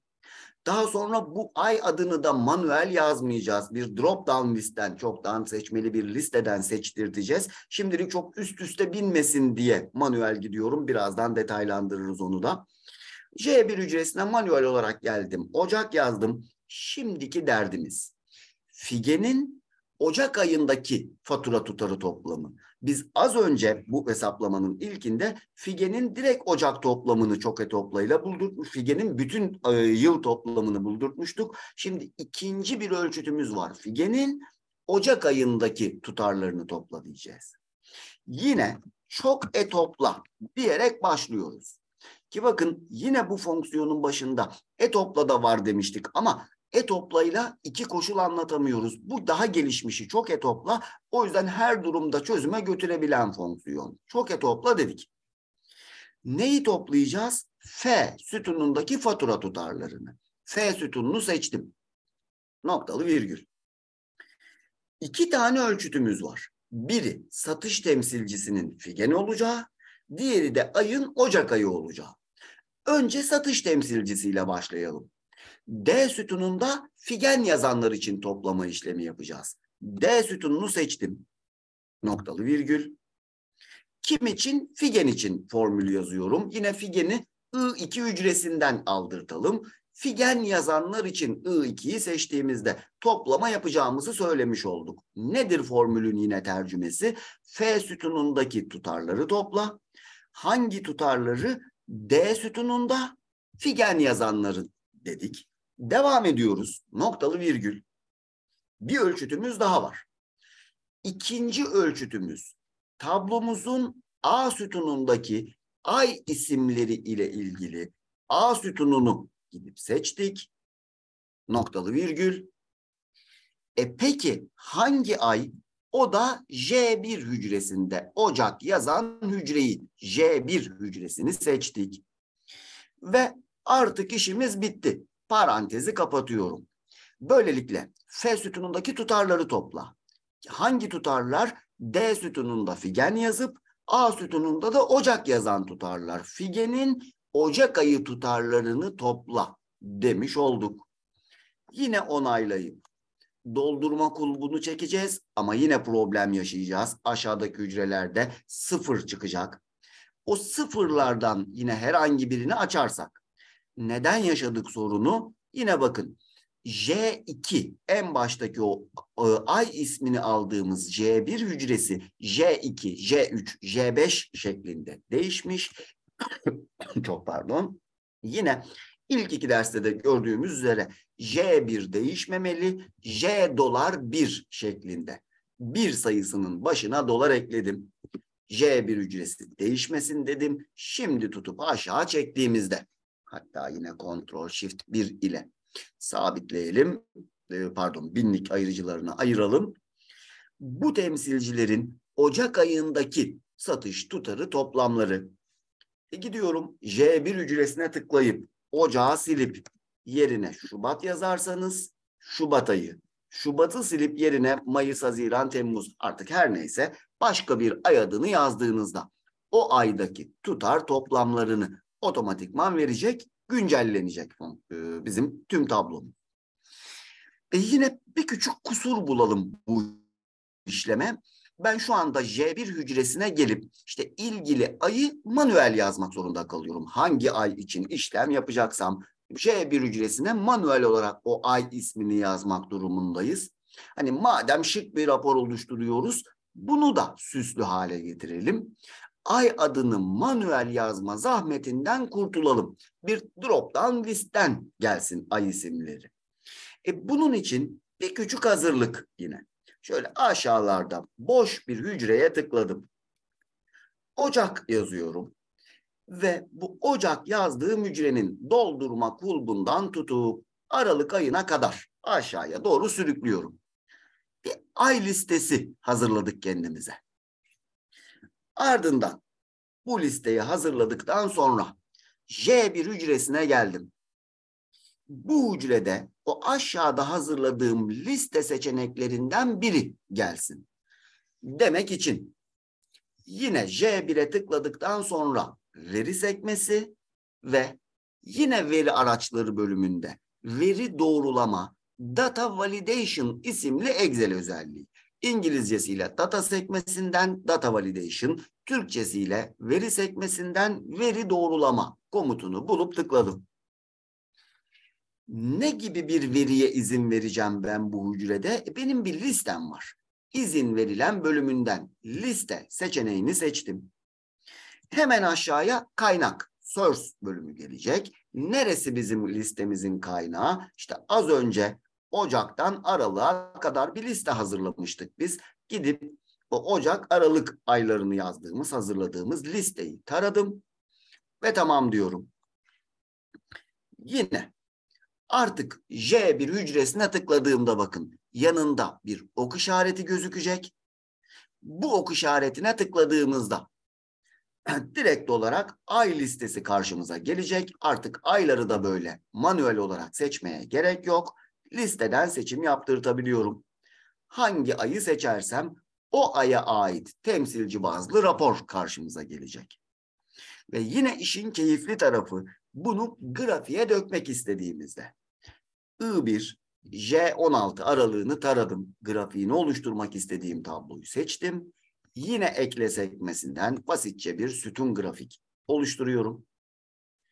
Ve grafiği oluşturduktan sonra da yine J1 hücresinden ayı değiştirdiğim anda direkt olarak bakın yeni seçtiğim aya göre grafiğimiz otomatik olarak güncellenecek. Biz direkt olarak o raporu yine daha şık bir hale getirmiş olduk. Yine eğer isterseniz yüzdelerini ekleyebiliriz. Artık bu kısmı da zaten biliyoruz. Hızlıca şöyle alalım. En alta gelip e, bu ayın toplamını hesaplattım. J17 hücresine ve yine K2 hücresine eşittir. J2 bölü K17 pardon J17 diyeceğim. Bunu da J dolar 17 şeklinde sabitleyeceğim. Ve yine biçimini yüzde biçimine percentage'a çevirip tutup aşağı çektiğimizde o ay için yüzde değerleri o ayın yüzde kaçını şu kişi satmış, yüzde kaçını bu kişi satmış şeklinde. Yüzdeleri de işin içine dahil edebiliyoruz. Ki yarın bu raporları daha da büyüteceğiz. İşte rapor sayfasını açıp e, burada tek bir yıl değil, üç yıllık data var. 2017, 2018, 2019 yılları. Yine seçeceğim ayın seçeceğim yılında diye başlayıp çok daha büyüğünü, aynı şekilde grafiğin de daha kapsamlısını işte bir dashboard grafik üzerinden alacağız ki verileriniz üzerinde her türlü e, detayı, raporu manuel oluşturabildiğimizi de görmüş olacağız. Bugün için benzer raporlarla devam edelim. Bunu da tekrar şöyle kenara doğru iteleyelim. Birkaç sütun daha ekliyorum. Her biri bu arada oluşturduğumuz örnek şöyle sağ tarafa doğru bakın mevcut. Ben bunları da düzenleyerek yine e, eğitim bittiğinde e, sizlere e, aktarması için arkadaşlara ileteceğim. Eğitim bittiğinde bu raporların son halini daha düzenli bir şekilde de görebileceksiniz. Şimdiki işimiz bir ay raporu oluşturmak olsun. İşte yılın 12 ayında biz bir sürü satış yaptık. Aylık bazda Ocak ayında toplam ne kadar sattık, Şubat ayında toplam ne kadar sattık gibi bir ay raporu. Kalan vaktimizde de bir günlük rapor oluştururuz. İşte hafta içi günlerde ne kadar satış yaptım, hafta sonu günlerde ne kadar satış yaptım gibi bir hallere getiririz. Tabii bunun için yine gün bilgisine ihtiyaç duyacağız. Aylık rapor için yine I bir hücresine ay yazıp yine Ocak ayından Aralık ayına kadar doldurma kulbuyla Ocak yazdım I2 hücresine ve Aralık'a kadar sürüklüyorum. Yine her bir aydaki toplam satış tutarlarını bulalım. Ocak ayında toplam ne kadar satış yapmışız? Şubat ayında toplam ne kadar satış yapmışız raporu için. Yine çok e topla. E yine fatura tutarlarını toplayacağız. F sütununu seçtim. Noktalı virgül. Koşulum aylarla ilgili. Ay isimleri tablomuzun A sütununda gidip A sütununu seçtim. Noktalı virgül. Hangi ay? Ocak ayı için işlem yapıyoruz. Ocak yazan I2 hücresini seçip parantezi kapatabiliriz. Yine onaylayıp aşağıya çektiğimizde her bir ayda yapılan toplam satış tutarı ve yine Bunları otomatik toplayla toplattım. Yine 35 milyon sonucuna ulaştık. E son olarak bu ayların yüzdesini almak için yine K sütununa eşittir J2 bölü J 14 yine J dolar 14 şeklinde sabitledik. Ve yine biçimini yüzdeye çevirip artık burada biraz daha da hızlı gidiyorum bu arada. Nasıl dediğim gibi tekrar da YouTube kanalında bulunacak. Tekrar etmek isterseniz oradan da tekrar alabilirsiniz. Aylık rapor hangi ayda yüzde kaçlık satış yapmışız? Bunu da kolay bir şekilde oluşturduk. Dikkat ederseniz soldaki ana tablo hazır olduktan sonra işte aylık rapor oluşturacaksam aylar olmalı. Temsilci raporu, cari raporu vesaire ne raporu oluşturacaksam tabloda o veri bulunmalı. O veriyi kopyalayıp yapıştırıyorum. Yinelenenleri kaldır diyorum. Ay için buna ihtiyaç duymadık. Çünkü zaten ay listesini kolayca Ocak yazıp tutup aşağı sürükleyerek oluşturabiliyorduk. E bunun ardından da Yine çok etopla fonksiyonu aslında bu tip tüm raporlarda e, ana formülümüz çok etopla formülü diyebiliriz. Her bir ayın toplamlarını aldırtıyoruz. Genel toplamı hesaplıyoruz ve son olarak da bölme işlemiyle her bir ayın genel toplamı olan oranını hesaplatmış oluyoruz aslında. E peki buna göre yine birkaç sütun ekleyelim. Günlük raporumuza geçebiliriz. Şöyle bolca birkaç sütun daha alalım. Yine grafiği de oluşturabiliriz ama e, şu günlük raporu da bugün içerisinde yetiştirebilirim. Yağına işlerimiz birazcık sadeleşmiş olsun. Günlük rapora geldi sıra. E, tıpkı aylarda belirttiğimiz gibi günlük bir rapor oluşturacaksak işte bu tabloda pazartesi günleri toplam ne kadarlık satış yapıldı, salı günleri, çarşamba günleri toplam ne kadar satış yapıldı raporu için yine bu C sütunundaki tarihlerin haftanın hangi gününe geldiğini çıkartmalıyız. E yine bunun için A sütununun soluna bir sütun ekledim ve şöyle başlığını kopyalayıp yapıştırıp gün olarak değiştirelim. Az önce ay isimlerini çekebilmek için text Türkçesiyle metne çevir fonksiyonunu kullanmıştık. Şimdiki amacım da buna çok benzer. 2 Ocak 2017 hangi güne geliyormuş? Bu datayı çekmemiz gerekecek. Formülümüz aynı. Yine İngilizcesiyle text, Türkçesiyle de metne çevir diyeceğiz. E neyi metne çevirmek istiyoruz? D2 hücresindeki tarihi D2 hücresini seçtik. Noktalı virgül. Tek değişen. Ay ismi için çift tırnak işaretleri arasında A harfiydi. Gün ismi için yine çift tırnak işaretleri arasında. Bir tane G harfi kullanırsak ayın ikisi iki sonucunu verir. İki tane G harfi kullanırsak ayın ikisi 02 sonucunu verir. 3 tane G harfi kullanırsak işte 2 Ocak 2017 pazartesiye geliyormuş. Bu pazartesinin kısaltması PZT sonucu ve yine aynı mantıkla 4 tane G harfi kullandığımızda da net bir şekilde pazartesi cevabını verecek. Tutup aşağı çektiğimizde de bakın her bir tarihin gün hangi güne geldiği bilgisini aslında ayıklamış olduk sol tarafa. Peki işin bu kısmı tamam. Gün isimlerini çektik. Yine soldaki tablomuz hazır artık raporlanmaya. Geriye kalan kısım tıpkı az önce aylarda yaptığımız gibi. Yine I bir hücresine geldim. Gün yazdım. Ve altına pazartesi yazıyorum. Doldurma kulbundan çekip pazara kadar çektim.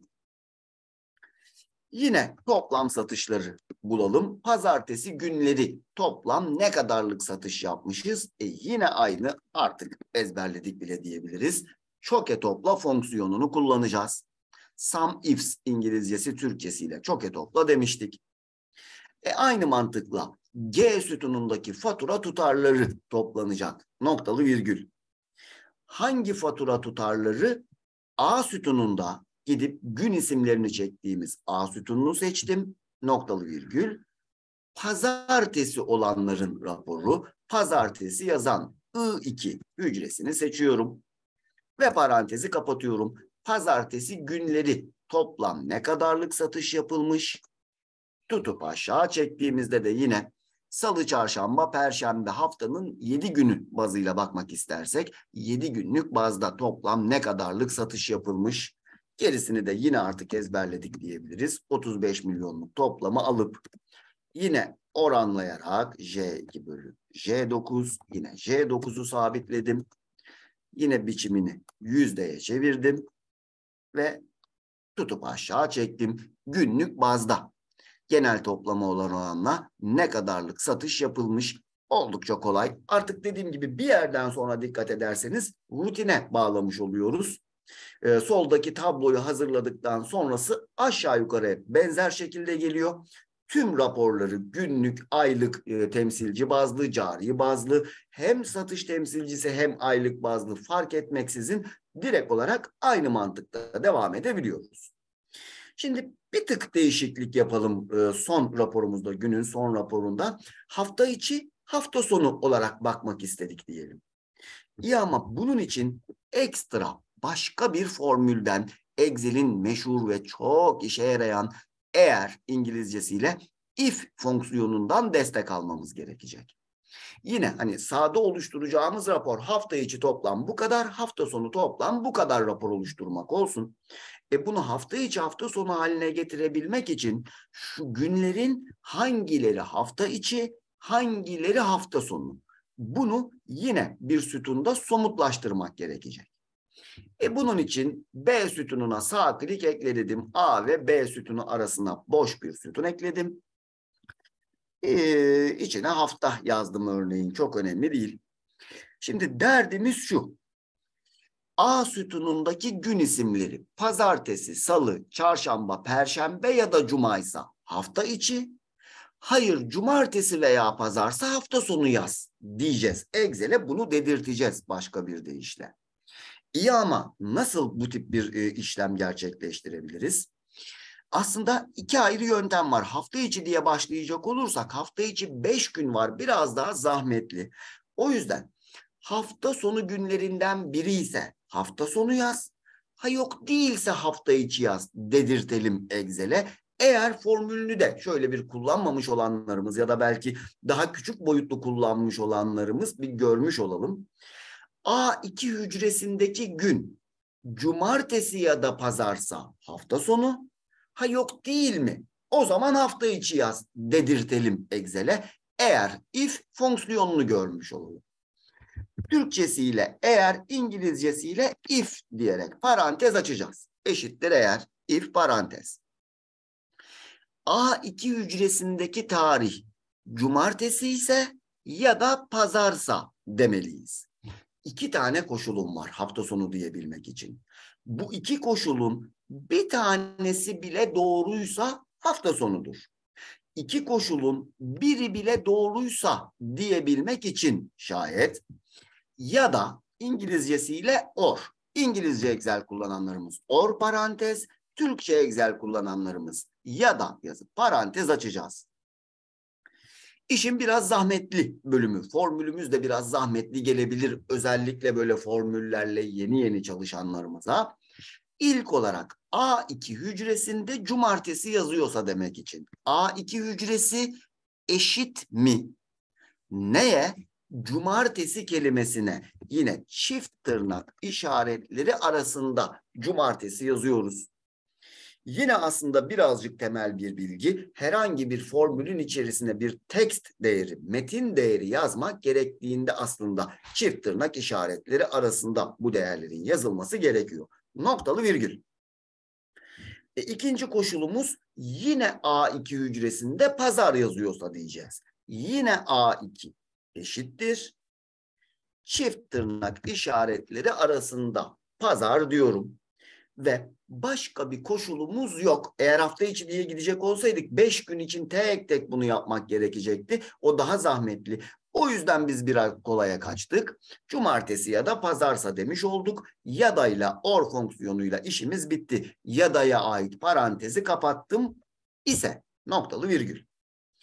Cumartesi ya da pazarsa ne yapsın?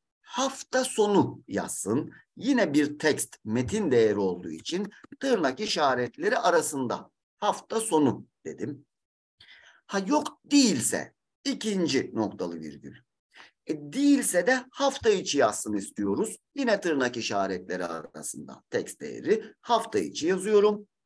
Parantezi kapattım. Biraz zahmetli bir fonksiyon. Hani yazarken ekrandan takip edip yazabilen, yazmaya çalışanlarımız biraz belki zorlanmış olabiliriz. Ben o yüzden sohbet bölümüne de bu formülün son halini atıyorum. Tutup aşağı çektiğimde de artık bu tarihler hafta içi mi, hafta sonu mu onları netleştirmiş olduk aslında. İşin zahmetli olan kısmı dikkat ederseniz soldaki tabloyu bizim raporumuza uyumlu hale getirebilmek. Bu arada ben formülü heh, tamam herkes alabileceği şekilde atmışım tamamdır. Oradan da bakabilirsiniz ki yine tekrarlayalım çözülmüş hali e, bu haliyle de e, sizlerle paylaşılacak. Tabloyu hazır hale getirmek işin zahmetli bölümü demiştik. Yine aslında o zor ve zahmetli kısım bitmiş oldu böylelikle. Buradan sonraki adımda raporu oluşturmak yine kolay. Şöyle az önceki gün raporunun altına yapalım bunu. Yine hafta içi yazıyorum bir hücreye, altındaki hücreye de. Hafta sonu yazdım. Yine bu hafta içi ve hafta sonlarındaki toplam satışları buldurtmak için hafta içi yazdığım hücrenin yanına aslında bu formül artık bildiğimiz bir formül çok ve topla diyerek parantez açtım. H sütunundaki tutarlar toplanacak noktalı virgül. E neye göre? B sütunundaki hafta içi ya da hafta sonu e, bilgisine göre B sütununu seçtim. Noktalı virgül ve hafta içi B2 pardon J14 ben de hafta içi yazan hücreyi seçip parantezi kapatıyorum. Hafta içinin toplam satışı tutup aşağı çektik. Hafta sonunun toplam satışı demiş olduk. Hafta içi 24 milyon lira hafta sonu da 10 milyon lira küsürlük toplam satış yapılmış diyebildik böylece. Artık olayın özü sanırım aşağı yukarı böyle netleşmiştir formüller özellikle formüllerle yeni yeni çalışmaya başlayanlarımız için zahmetli gelmiş olabilir ki normalde dediğim gibi işte çok etopla formülü nedir ne değildir temel haliyle bunu alıp adım adım ileriye taşıyoruz demiştik. Ee, yarın oluşturacağımız raporlarda bunları birazcık daha katmerli hale getireceğiz. İşte her bir cariye, her bir şirkete bu yılın bu ayında ne kadar satış yapılmıştır vesaire gibi de anlatacağız derdimizi.